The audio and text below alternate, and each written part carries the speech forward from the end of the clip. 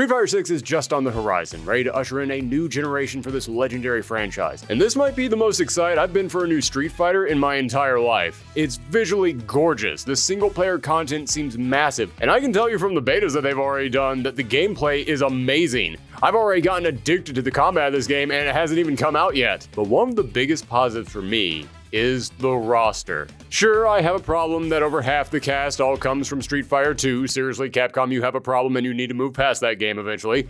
But when it comes to the new characters, this might be the best collection of new fighters I've ever seen in a Street Fighter.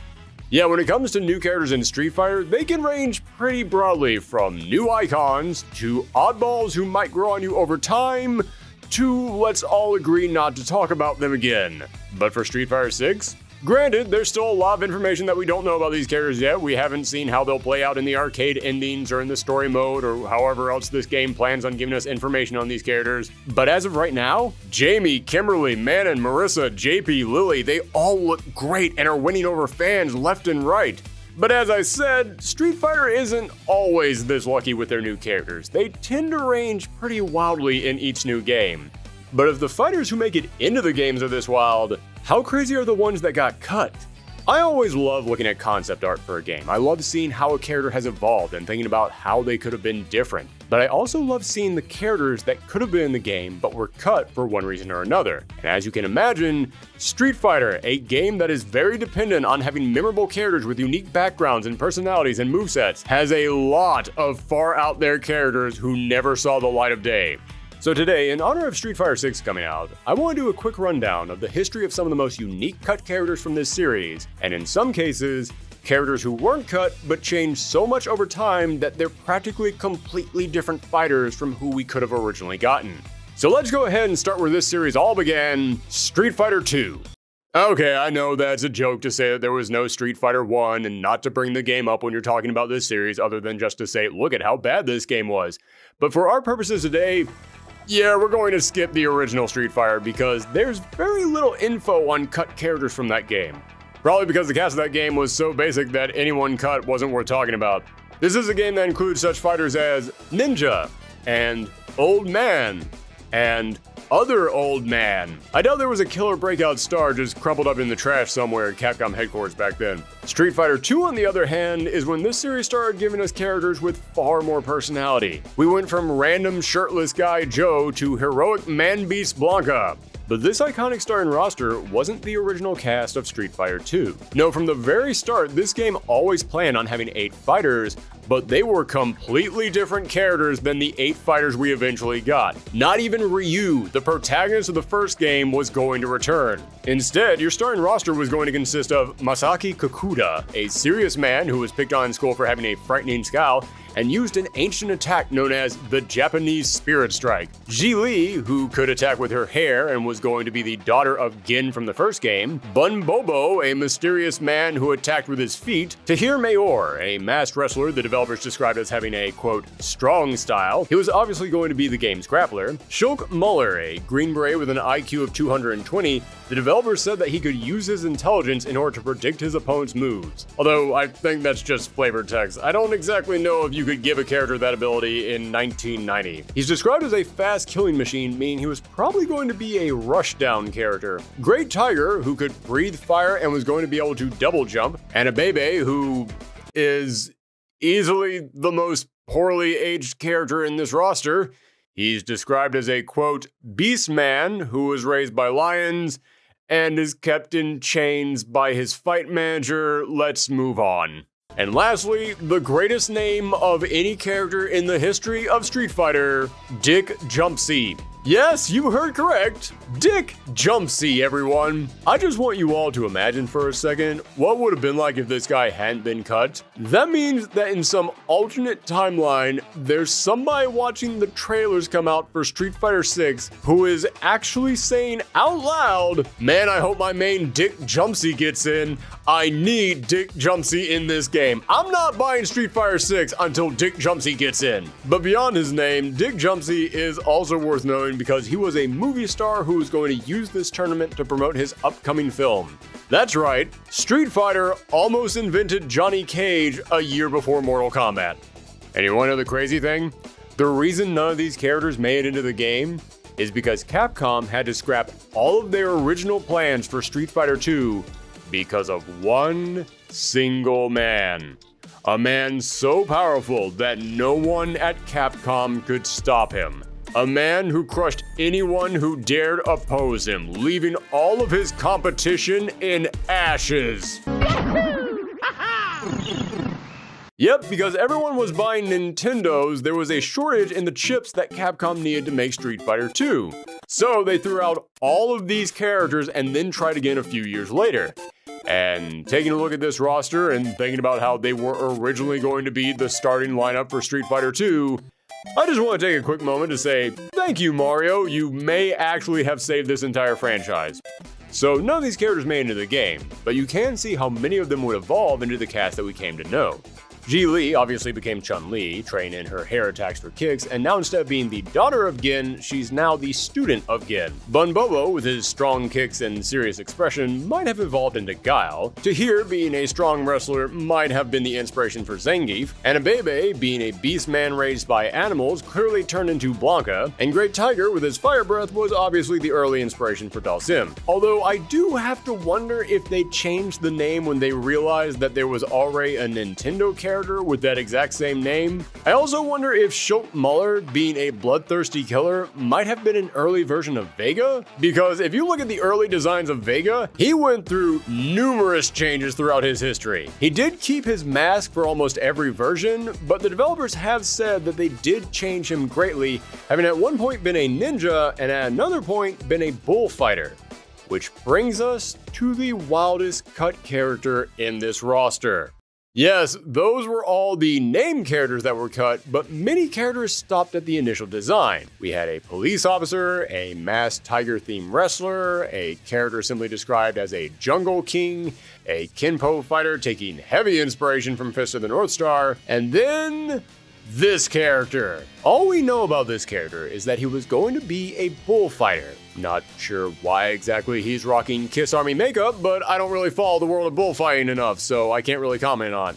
You'll also notice that he's holding a rope, but that wasn't going to be his weapon of choice. Instead, this game was originally planned to let you pick up weapons on the field and use them to fight your opponent, taking inspiration from the beat 'em up games of the time like Final Fight. Now, as I said, there have been many comments about Vega's original designs being a bullfighter, so maybe this character was an early inspiration for this legendary assassin? But that's not what's really important about this character. No, what's important is that this might be the most well known cut character in video game history because he's one of the only characters to be cut from a game and then wind up in multiple other games, none of which were owned by Capcom.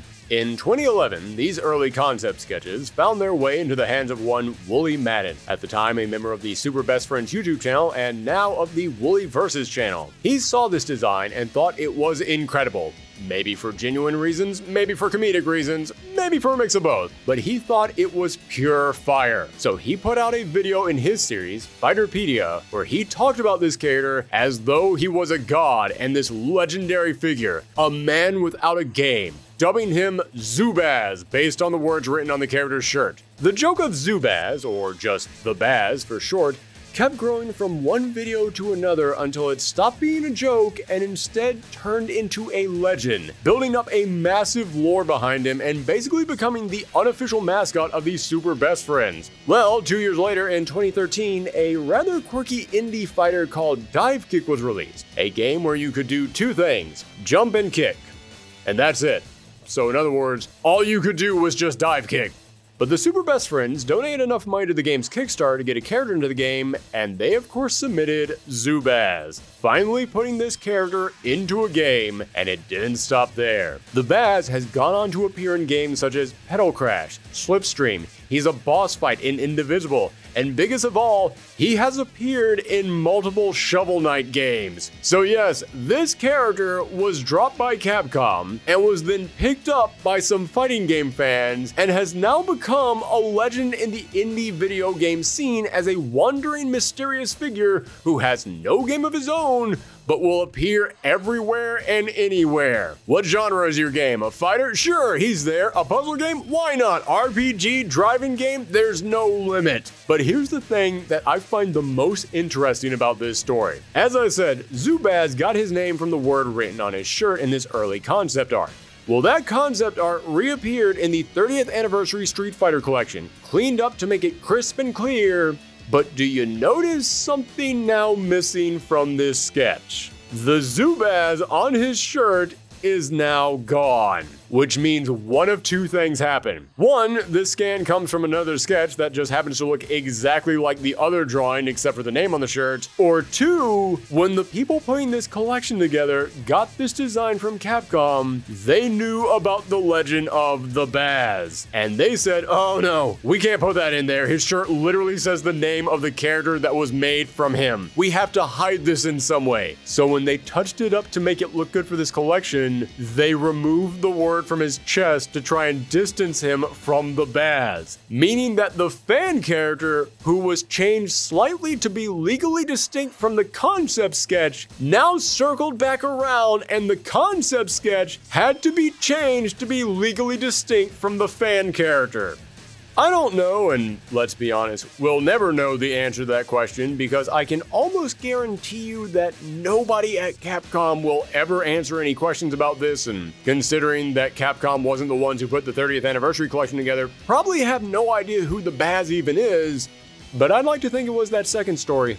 So that was a glimpse of some of the more unique cut characters from Street Fighter 2, but things were about to ramp up in a few years with the release of... Street Fighter Alpha. Not that one, that one. Yeah, sorry, but we're also going to be skipping the alpha games for this video. Not because I don't like them, far from it. They might actually be my favorite in the Street Fighter series, but in researching this video, I was shocked that it had easily the least number of cut characters or changed character designs, at least out of all the sketches that have been revealed. I'm sure in some vault at Capcom, there's some crazy fighter that was deemed too powerful for late 90s audiences to handle, but out of all the concept art that's been made available, all the cut characters are nothing to write home about, and all all the new characters were pretty firmly established from their early designs, so yeah, there's nothing really worth talking about from that game.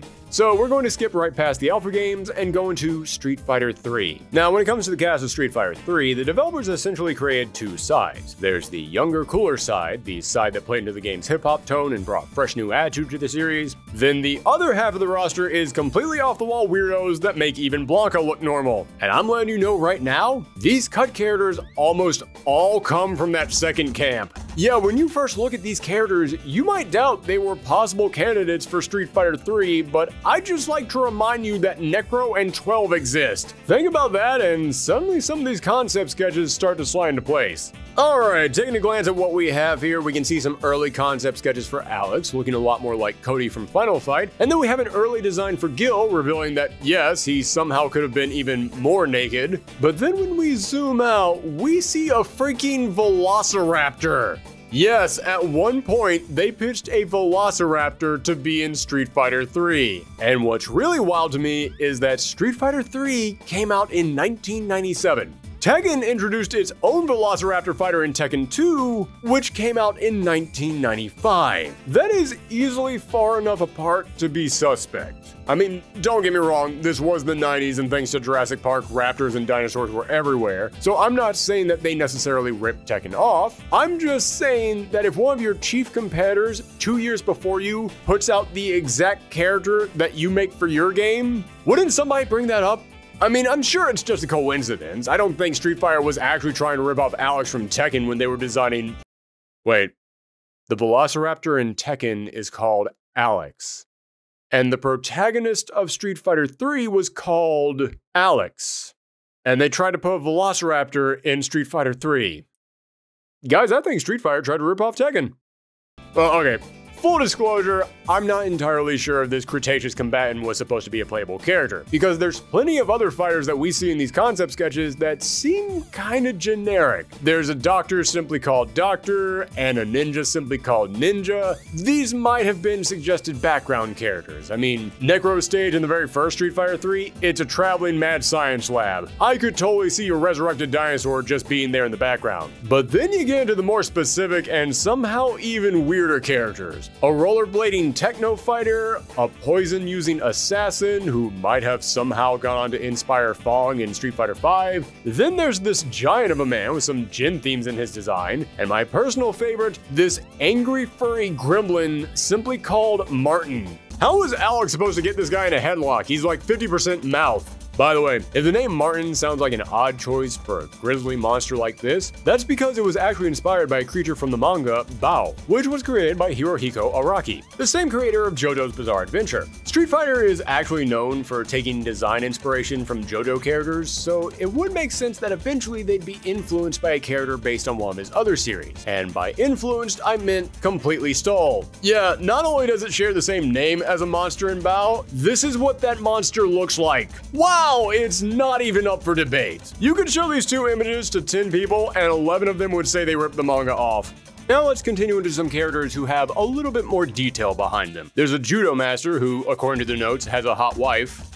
That's it. That's all the info on him. His wife is a looker. That's actually what it says. Then there's a capoeira master who fights entirely upside down, and a giant robot simply called Marionette Master. That's all we know about him, but that name raises so many questions about how they'd fight. But I know what you're thinking. These look like just the most basic sketches, the earliest of early designs. Clearly, some of these characters were never meant to be in the game. Heck, some of them might even have been joke characters that they just wrote down and never planned on putting in at all. You know what? You got a point. Since these were clearly super early sketches, they probably weren't ever seriously considered for the game. For those characters, we turn to this early arcade flyer for Street Fighter 3. Yes, when Capcom's newest, most highly anticipated fighting game was about to hit stands, they decided to promote it by sending arcades these flyers that showed off who wasn't in the game. That certainly seems like a bold strategy, but hey, this was Capcom in the late 90s. Nothing could possibly harm them. These were fully drawn out characters who came much closer to actually making it into the game, and a couple of concept sketches for some existing characters. For example, Necro originally looked much more like a stretchy version of Vision, and Ibuki is practically unrecognizable. And while we're talking about existing characters, let's also look at a few early concept sketches for Makoto, who is vastly different from the dedicated traditional martial artist that we eventually came to know. But as for the new characters, you've got this giant hairy beast from France, who despite his looks is actually a noble aristocrat as made clear from his armor, and at one point he was even going to be the original boss of the game. Then you've got another character listed as an assassin. Man, they really wanted to put an assassin in this game, didn't they? Then you've got a wrestler over here who is listed as a stone warrior. He's got a look that resembles a classic golem design. Then this character, who looks like if Terry Bogard got a day job in computer tech support, the description lists him as an Abari detective, Abari meaning violent. So yeah, he's a super roided out angry detective. Maybe he's angry because his badge is hilariously oversized and barely fits on his vest. Who can say? Then you have a massive boxer in overalls, a newsy hat, and a pipe. He kind of looks to me like if Popeye and Bluto fused together. I don't hate this design, but if we were going to get a boxer in Street Fighter 3, I'm happy it was Dudley. And lastly, the one that piques my interest the most is this character simply referred to as American Girl. There is zero information on her, just that she's an American girl who looks good in clothes with American images on them. In other words, red, white, and blue stars and stripes. Now, why am I so happy about this character? Because if you've been around for a while, then you know that I love Rival Schools. It's a game that's very important to me. It was that fighting game that checked all the boxes for me when I was a kid. I love the gameplay, I love the premise, and I love the characters. And it came out about nine months after Street Fighter 3. And in that game, there's a character named Tiffany, an American girl who is one of the most popular characters in Rival Schools. She's one of the big faces of that series. And it wasn't until researching for this video that I learned she was originally going to make her video game debut in Street Fighter 3 because that is totally 100% an early version of Tiffany. If you look at the credits for a lot of the late 90s, early 2000s fighting games from Capcom's, you'll see a ton of overlap in the developers, and yes, there were multiple people who worked on Street Fighter 3 and rival schools. But even if there was no overlap in there, back in the 90s, Capcom employees were all working very closely with each other. So there's a very good chance that somebody's design could have slid their way into another person's game. I mean, let's actually break it down and take a look at this. She's an American girl with star boxing gloves, striped leggings, a bandana on her head, head. The hair is a little different and she does look a little bit older, but aside from that, that is totally an early version of Tiffany. And speaking as a massive Rival Schools fan, my mind is blown realizing that Tiffany was originally designed to be in Street Fighter 3 and I can't help but think of the what if alternate universe where that actually happened. Did she return for Street Fighter 5? Is she confirmed for Street Fighter 6? When she does her big drive impact, does it cause a huge splash of red, white, and blue? I am such a massive Rival Schools fan that just knowing that there might be a parallel reality where one of those characters got to return makes me happy. Then again, we got Akira back, so eh, you know what, we're doing okay. Moving on to Street Fighter 4, there's not a lot of concept art out there of the cut characters. However, there are a handful of new characters who had their designs changed so much during production that they might as well be cut characters. Juri is one of the best examples of this simply for the number of designs that she had. I remember when this game was coming out, I read some game magazines that said that she had over 100 different early designs, some of the most of any fighting game character ever. Personally, I'm pretty happy with her finalized design that we did end up getting, but there are some really interesting early designs for her, but they all still have this same similar sinister vibe to her. Some of them lean into more traditional martial arts, some of them lean into more of a cybernetic high-tech side, but they all feel like they could be applied to the character that we ended up getting. Unlike our next two fighters who were completely different. Remember Abel from Street Fighter 4? the guy who they hyped up like he was going to be a major part of the game and then everyone just kind of forgot about him. He's a mountain of a man, built like a brick house of muscles in a judo outfit, so it might shock you to learn that originally he was going to look a lot like this. Yes, at one point during development, Abel was going to be a young girl, still from France and still in the judo, which has actually made a lot of people online say that the upcoming character Manon has taken some inspiration from this concept but I don't know. Aside from the fighting style and the nationality, I don't see much of a crossover. Then again, as we have seen time and time again in this video, the final version of a character can come from early designs and other inspirations from various different places and change greatly over development. And speaking of changing greatly over the development, I now present you with probably the most infamous character development in the history of Street Fighter. Some of you don't know who this is yet, and some of you are already getting upset about it. This is King Cobra. He was created because during the development of Street Fighter 4, Capcom wanted to appeal to overseas audiences, so they wanted to create characters they thought American audiences would like. This led to the development of Sea Viper and King Cobra. Makes me wonder if that's why they both have snake themed names. Maybe Capcom decided to give them a similar naming theme because they were both created for the same purpose, who can say? Now, King Cobra was going to be an acrobatic rival to Ken and Ryu, practicing his own form of martial arts known as Break Kung Fu, a mix between Kung Fu and breakdancing. He was designed by legendary Capcom artist Daigo Ikeno, and they hired Wataru Hatano to voice him. But halfway through recording the character's lines, I repeat that they hired the voice actor for him and got halfway through recording the character Street Fighter IV's art director, Takashi Kamei, said, Hey, what if he was overweight? And Ikeno agreed with this, so they started reworking his design. And reworking it, and reworking it. Until we wound up with the brand new King Cobra.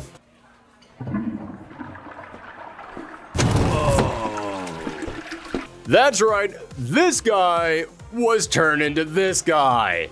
And I make it sound like it was a very slow change, but Daigo Ikeno himself would later admit they rushed Rufus's design, which is further backed up by the fact that Wataru Hatano said that when he saw Rufus, he was genuinely shocked and actually said, quote, wait, is that my character?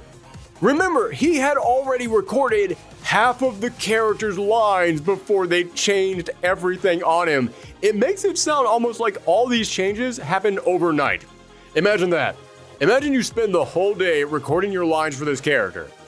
Then you break for the day, go home, rest up, come back in the morning, and the director says, Okay, ready to get back to work recording for your character? And then this guy pops up on the screen. The game's director, Yoshinori Ono, would later comment on the less than positive initial response to Rufus's design, saying that Street Fighter is known for more over the top characters, and they wanted something that would, quote, freak people out and would get people talking, which, okay, mission accomplished, I guess. In all seriousness, I do know that there are people out there who are fans of Rufus, but I can also tell you there are plenty of people out there that wish we would have gotten King Cobra instead. But that brings us to the latest Street Fighter, Street Fighter V, and lucky for us, the development team at Capcom has actually been very upfront with character development for this game, sharing multiple cut characters and early character designs on their website. Which means that we don't have to piece anything together on this one and scrounge around for blurry secret photos. No, we actually have a very good look at the cut cast of characters for this game, and boy, were there a lot of them! First up, we have a character referred to as Fighting Literary Master. A man who fights mostly with his brains instead of his brawn, he would constantly stop to mumble to himself and would be lost in thought. Makes me wonder if this could possibly have been tied to his V trigger or V skill, like you activate and he just starts mumbling and that gives him some kind of a buff. Here's one that goes way back into Street Fighter V's development. There was going to be at one point a Shadaloo soldier who looked like this in the game. Not sure if they were going to be playable or if they were intended to be some random grunt that you would find in the story mode, the game's director, Takayuki Nakayama, said the design was inspired by Alien vs. Predator. Not sure if he means the movie or the old Capcom beat 'em up, but either way, I can totally see it. Now, the reason why this one interests me so much is because if you'll notice, this guy gets his own fully fleshed out design that looks like it was ready for production. And he has a much darker and more cybernetic look to him compared to the other characters in this game. Well, when Street Fighter V was in early development, originally it was going to have a darker tone and graphics that were supposed to be far more realistic. We've even seen some early concept art of M. Bison and what he was supposed to look like, and he's rocking a cybernetic body that seems to match up with how the Shadaloo soldier is designed, which makes me think that this design was from way back in the original build of Street Fighter V. Next up, someone on this team was really pushing for a sports themed fighter because at one point this game was going to feature a Brazilian soccer player, and he was rejected simply because he felt too similar to Roberto from Rival Schools. Well, if that was your problem, then maybe you could have just put Roberto from Rival Schools in the game, Capcom! Just throwing that out there. But when that was scratched, they were going to put in here an American football player. She'd be a scantily clad girl who would use powerful tackle moves. This idea did end up getting scrapped, however, they would take the idea of a football fighter and throw it into an obscure corner of the Street Fighter lore, as this concept art would be the inspiration for one of R. Mika's teammates. Yes, for anyone who doesn't know, R. Mika belongs to a wrestling league full of colorful, charismatic characters who have actually appeared in the Street Fighter comics, and according to Capcom, those comics actually are canon and all of those characters do exist within the Street Fighter world. And this football player would go on to inspire one of these wrestlers, Maple Storm, a Canadian wrestler who used to be a football player and now fights people by throwing poutine in their face. I'm not making that up. Well, speaking of Canadian sports themed fighters, our next cut character would simply be referred to as Puck Bunny. She would be a redhead tomboy Canadian hockey player who would focus heavily on defense, but she was cut because they felt her design was too basic. And the Canadian disrespect train doesn't stop there, because after that, they pitched another Canadian representative, Snowman. He would be a big, strong beast with some of the highest attack power in the game, but he was cut because they felt he was, quote, too Darkstalkers for this game. So yeah, two scrap Canadian characters in a row, but don't worry, Canadian fans, they did give you Abigail.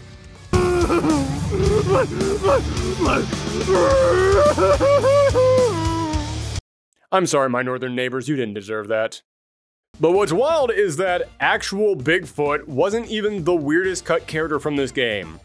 Allow me to present to you a character simply known as Lobster Hand. He's called that because he has giant red hands that he uses to fight. Are they cybernetic? No, that would make sense, and remember this is Street Fighter, the fighting game full of weirdos. Those were apparently his actual hands, and he had worked them so hard that he now had big red calluses all over them that he used as armor. You know what? Uh, I'm actually cool with this one getting cut. I don't really think the man with the most powerful scabs in the world would have caught on with audiences. Next up, one of the more interesting cut characters. This fighter was simply referred to as Clumsy Cutie. She fights with tools, which makes me think that she was meant to be some kind of a mechanic, but her big gimmick is that she would be incredibly clumsy, and that clumsiness would play into her combat, which could be a fun mechanic, kind of like a drunken boxer style of fighting where they're just stumbling around and just falling into the opponent and hitting them. But here's the thing notice all those patches on her clothes? Well, apparently, as the fight went on, her clothes would continue to get ripped as a result of her clumsiness, leaving her more and more exposed as the fight went on. Street Fighter V really was trying to be the horniest Street Fighter of all time, wasn't it? Let's move on to some more finalized designs. These next two are some of my personal favorites. You know Gen, a deadly assassin who's been in this game since the start? We even referenced him earlier when talking about Chun-Li's early designs. Well, at two different points during the game's development, the Street Fighter team pitched including his disciples in the game. One of them was going to be a tall girl who Gen treated like a granddaughter, and her design included elements that the art team claimed would go on to inspire Set's finalized design. And the other design was going to be a young scarred up man who originally was going to appear in the game to fight Necalli, and then would go on to fight Akuma because Akuma was one of Gen's rivals. But Gen had fallen ill due to disease, so his disciple was going to have to fight him in instead. By the way, fun fact in the article where they talk about this character, Nakayama says, Don't worry, because this character didn't make the cut, that means Gin is still alive and well. Uh. Nakayama, did you happen to watch Akuma's story in this game? Accept your fate and go to hell! The sun!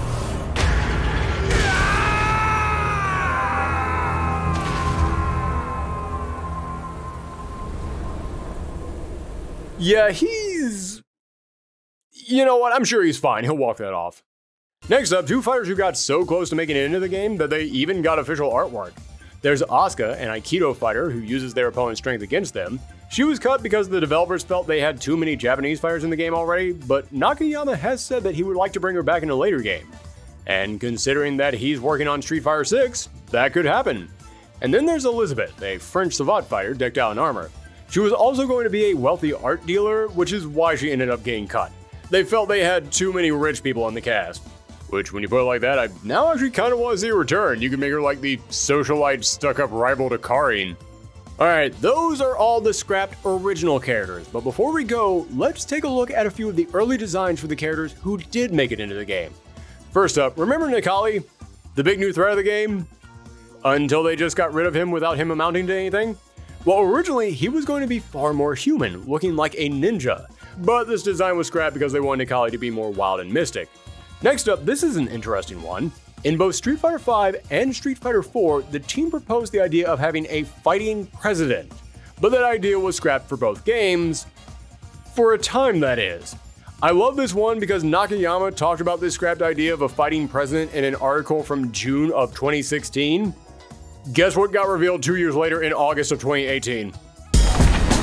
I'll fight this battle. Why? Because it is my duty.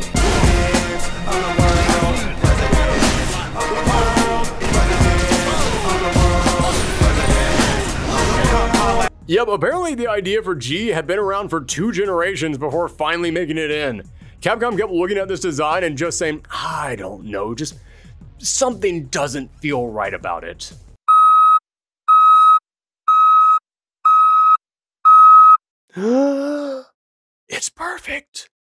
And speaking of ideas that the Street Fighter team were trying to push for a while, after Sagat left Bison's team and went on a quest for redemption, the Street Fighter developers figured that they should probably give Bison a new henchman. I mean, Bison's team is called the Four Heavenly Kings, it doesn't exactly work when there's only three of them. So they ended up creating FANG, a character whose appeal in the Street Fighter community is up for debate. But there were multiple other characters who they went through before settling on the Poison Birdman, and shockingly enough, some of them are even weirder than FANG. Okay, here goes. Time for the lightning round. First up, an Indian pop star who fought by dancing. I'm actually down with this idea. I think he'd make for a cool fighter, but not as one of Bison's generals. Dancing superstar doesn't sound evil enough for Shadaloo. Then there's a small girl who would be super strong and would pick the opponent up and smack them around. I'm also cool with this character. I think she looks alright. I think she'd make a fun addition to Street Fighter, but once again, she just doesn't scream supervillain to me. This does not feel like someone who should be working under Bison. Then there's a Malaysian woman who would be huge, covered in scars and muscle, fought rhinos and tigers to train, and was decked out in military camo. This one is perfect if you ask me. Cool design, looks intimidating, and I could easily buy someone who dresses like this working for Bison totally would have taken her as a brand new addition to Shadaloo. But now we start getting a little more out there. We've got a giant ape man who was transformed into a gorilla through a science experiment, and now he carries his blind daughter on his shoulders. This one actually would live on in one way or another, as when Ed reforms Shadaloo in his story mode ending, we do see a giant gorilla is in his ranks. Then there's a Pacific Island woman who's designed to be a little bit chubby, but when she activates her V trigger, it would cause her to become thin. Also, going off this artwork, I'd say she probably uses fire attacks, but I'm totally just guessing on that one. And lastly, they pitched not just replacing Sagat, but replacing all of Bison's subordinates to create three brand new characters, all themed around Say No Evil, Speak No Evil, and Hear No Evil. The Say No Evil would be a man with a mask over his mouth who would simply convey everything through an intimidating stare. Okay, that one's not that weird. Then the Hear No Evil would be a teenage robot who had antennas for ears and speakers on her hips. Okay, that one's pretty weird. And lastly, and I swear to you this is true, See No Evil would be a man who had caught the attention of a female monkey, and the monkey had fallen in love with him and was now constantly hugging his face. And the way he would fight would be by trying to pull the monkey off of him, making him something of a drunken boxer style fighter. You know what, FANG? Uh, perhaps I judged you too harshly. You you just keep doing your thing, FANG. We're all good now. But now we come to the final character we're going to talk about today, and this one. Oh boy, what a character to go out on. Because this is the only character who can possibly outdo Rufus in terms of how much they changed during development. Not just because of how different their initial design was, but also because of how many designs they went through. I'm talking about Menat. Yes, Menat is an incredibly popular new addition to Street Fighter, but who knows what could have happened if they had gone with an earlier design. Menat underwent so many different designs, you could make an entire fighting game just out of these scrap concepts. You could make your own into the verse out of these. Her layer designs are a bit different, but they still resemble the free-spirited gymnastic fortune teller that we all know. But you start going back further and things begin to get a little different. This one was still a protege of Rose, although now she was going by the name Clematis, which is another type of flower, and rather than fighting with a crystal ball, she would fight with a silk scarf that she was in control of. Half of her body would be covered in gold dust, which might have been a reference to her design before this, because before we got Silk Scarf Menat, we had a version who would also be covered in gold dust, but she would be able to mentally control that dust and shape it into letters and animals that she would attack with. Then you've got a version who fights with incense and a giant water pipe. She's apparently dying, so she has to fight to find some kind of a rejuvenating concoction that could save her life. And the incense idea would pop up in another design, a shopkeeper with the power to turn herself into smoke. We then have a few other Egyptian designs, but you go back even further and you'll see that originally she wasn't from Egypt at all. Before that, she was going to be a magician with two different designs.